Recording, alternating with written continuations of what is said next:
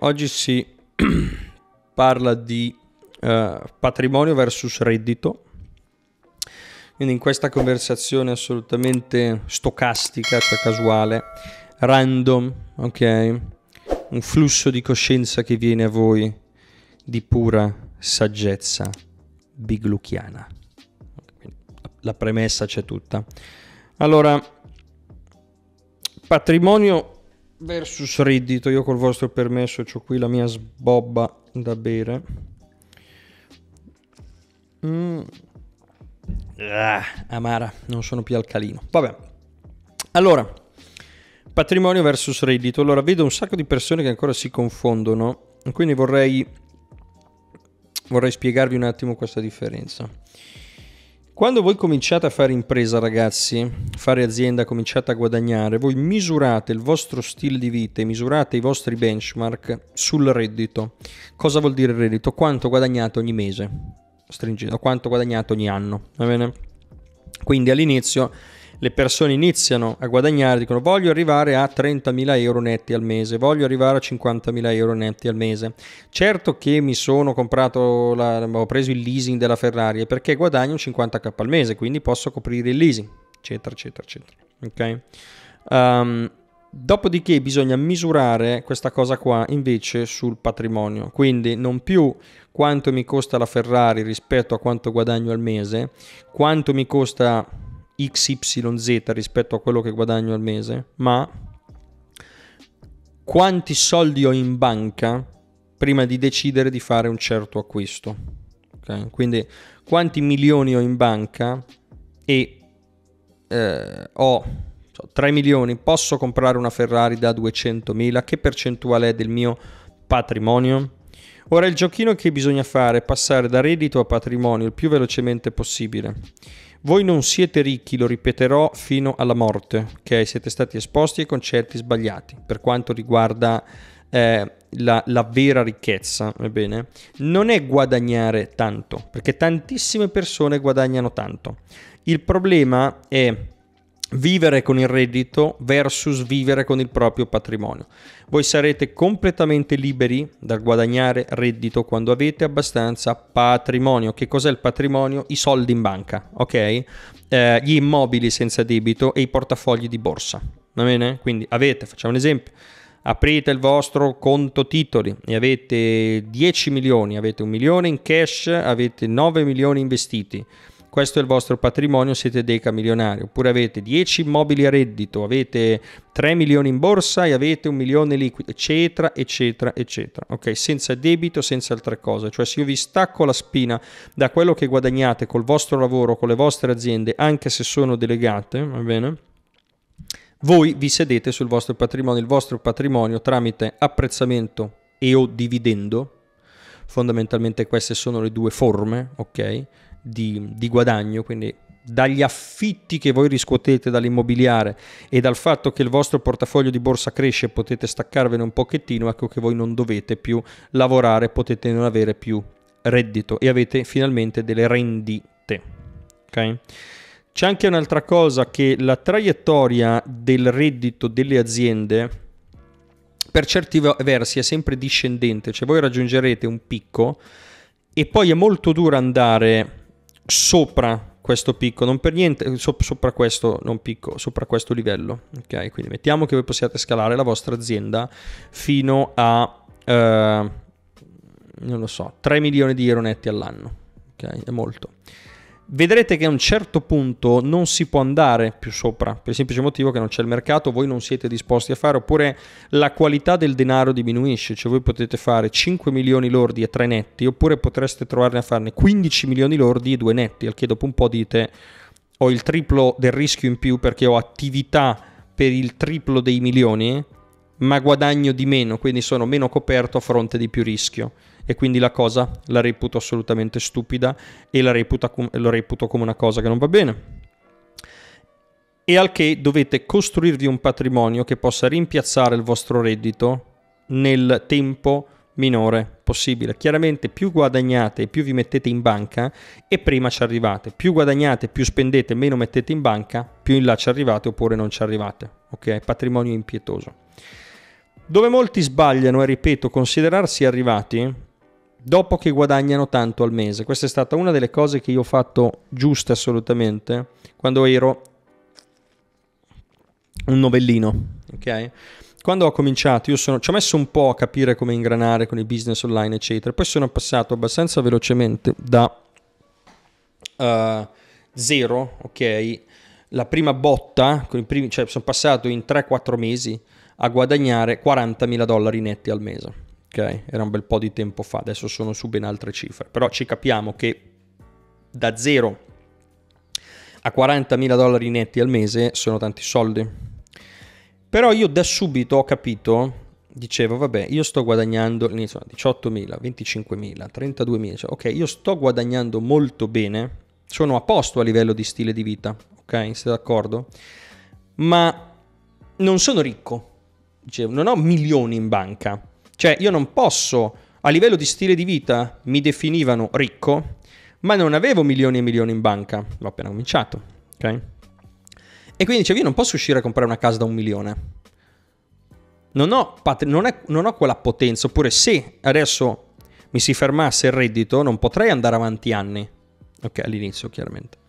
E quindi ho capito subito che il reddito non è la cosa che va guardata per il lungo termine. Il reddito è importantissimo, ma il reddito è importantissimo in misura in cui aiuta a creare patrimonio, non a sostenere solo lo stile di vita.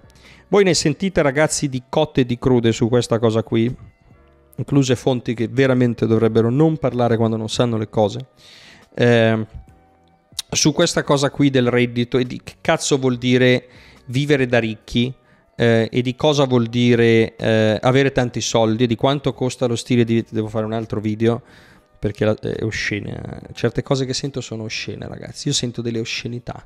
Avete mai sentito delle oscenità su questi topics? Ecco, io le sento sempre. Um, quindi, quando voi, per esempio, avete delle le persone chiamano aziende automatiche, cioè le aziende che sono delegate, a posto il fatto che avere tante aziende delegate nelle quali voi non lavorate è un miraggio, per quello che vedo io. Eh, possono essere molto delegate, eccetera, però ragazzi, voi ci lavorerete comunque e saranno dei grandi mal di testa. Quindi state attenti a queste cose. Eh, sono comunque reddito, non sono rendite, sono comunque c'è un rischio, ok, coinvolto. E vorrei anche puntualizzare che il vostro patrimonio non è l'azienda che produce i soldi, perché ripeto, io sento delle cose che cioè, è, è ora di finirla.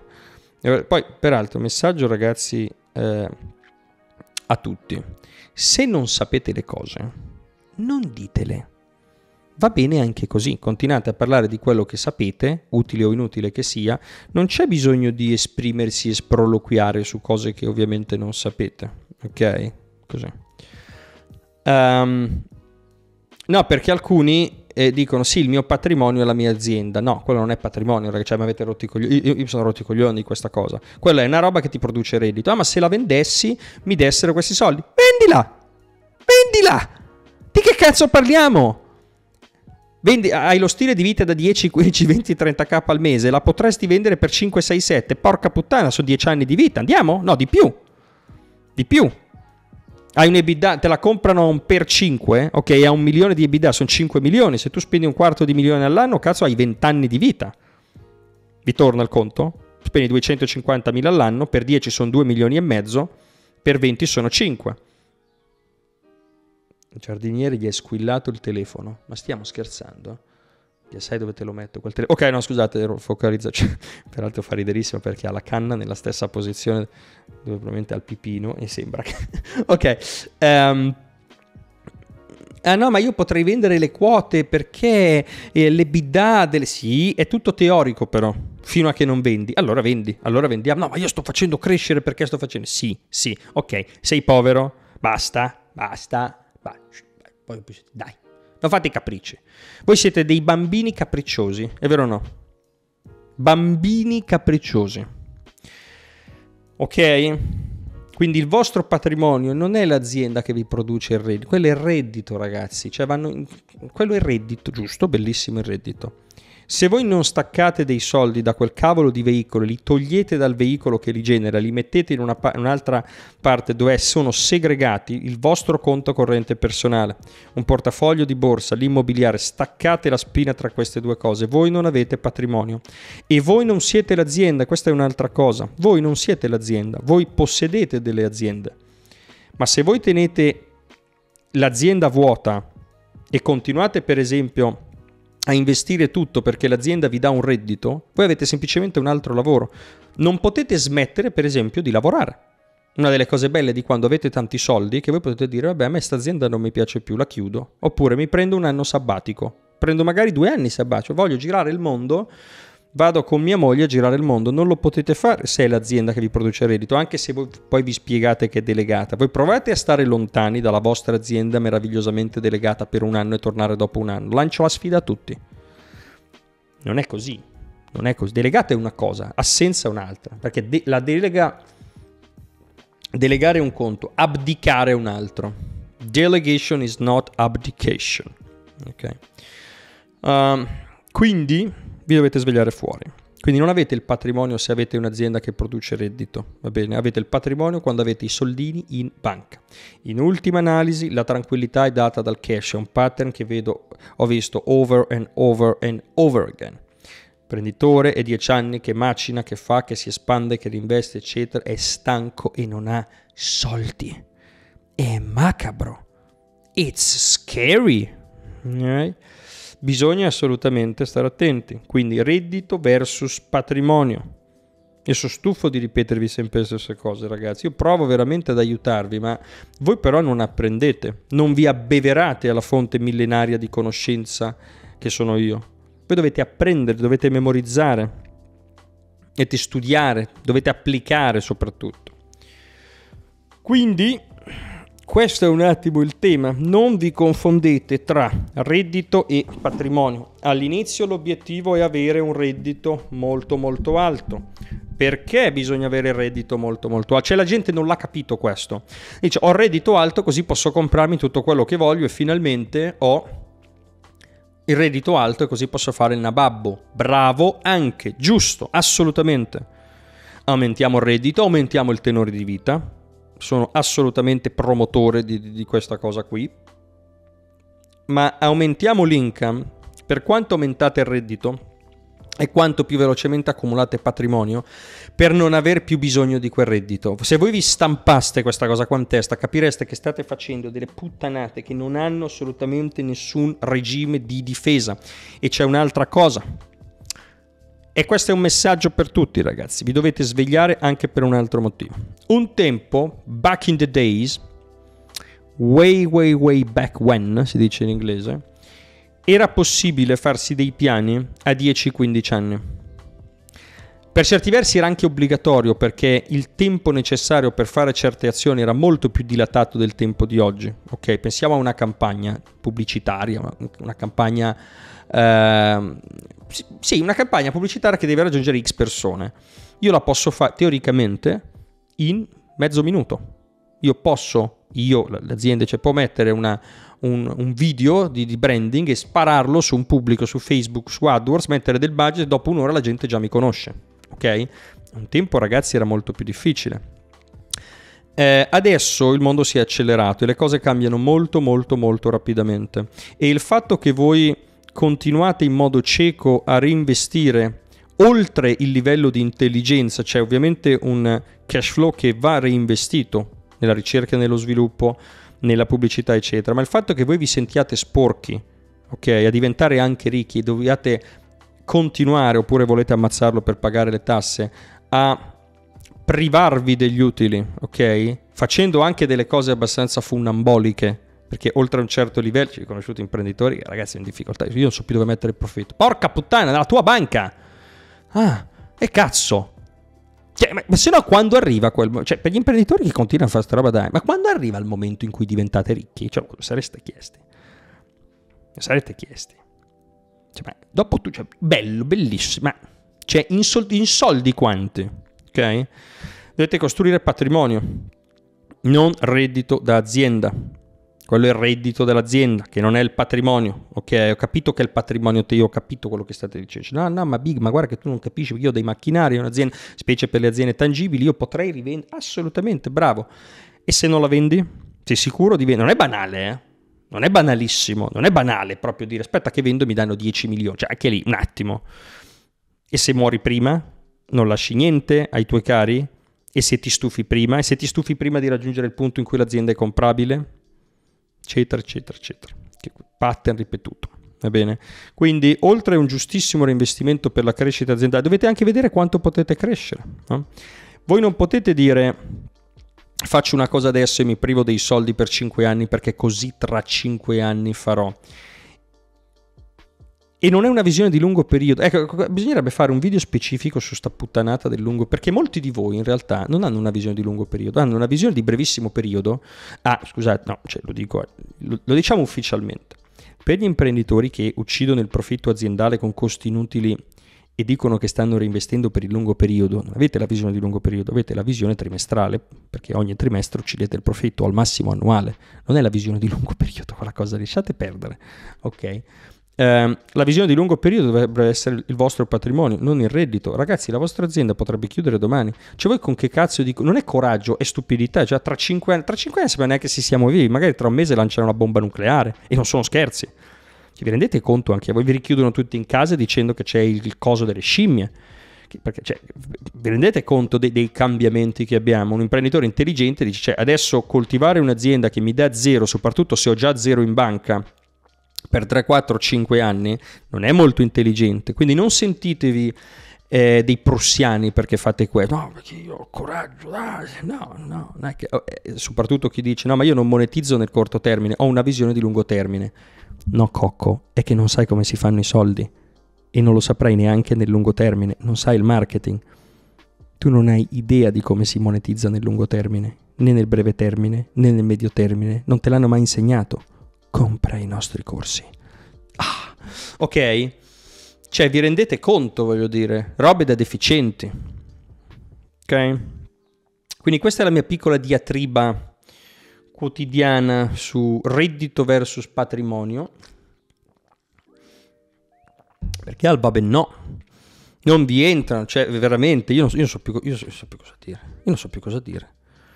Io sono anni che ripeto le stesse cose e voi non le imparate. Non imparate, niente.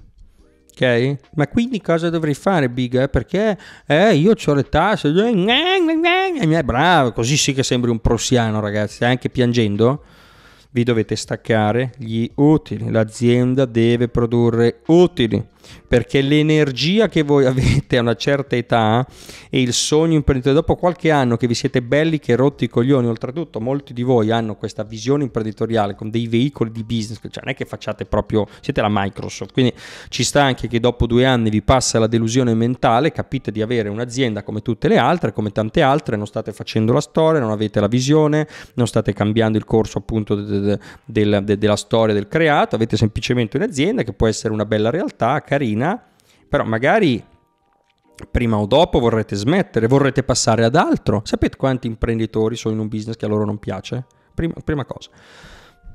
Come fate a lasciare l'azienda se vivete con quella? E non sto dicendo che magari avete via soldi perché vi bastino una vita, ma almeno che vi bastino qualche anno, che avete quella scelta, guarda, questa attività non mi interessa più. Vedo di delegarlo, la vendo, la chiudo e poi passa un'altra cosa. Sono imprenditori che sono, che sono semplicemente in una ruota del criceto più grande sono semplicemente una ruota del criceto più grande. Pensate essere una ruota del criceto che è poco profittevole ed è molto rischiosa. Cioè allora che cazzo siamo diventati imprenditori a fare? L'unico modo in cui funziona fare l'imprenditoria è essere ricchi o diventare ricchi per poi essere. L'unica. Non ha, non ha un senso logico fare azienda senza arricchirsi. Troppi cazzi, troppi problemi, troppi, troppe questioni. Troppo, è troppo. Ok? Bene. Quindi non so, non so ragazzi, non so che dirvi, non so che dirvi, non so veramente cosa dirvi. Vabbè, che per oggi abbiamo finito. Arrivederci. Iscrivetevi al canale, schiacciate la campanellina, lasciate un commento e scrivete Scrivete quello che volete, ragazzi. Fa- fatemi sapere cosa pensate. Tanti commenti non li leggo. Questa è la classica frase da youtuber. Ed io non sono uno youtuber, per esempio. Sono un formatore, un imprenditore. Io ho un. Arrivederci.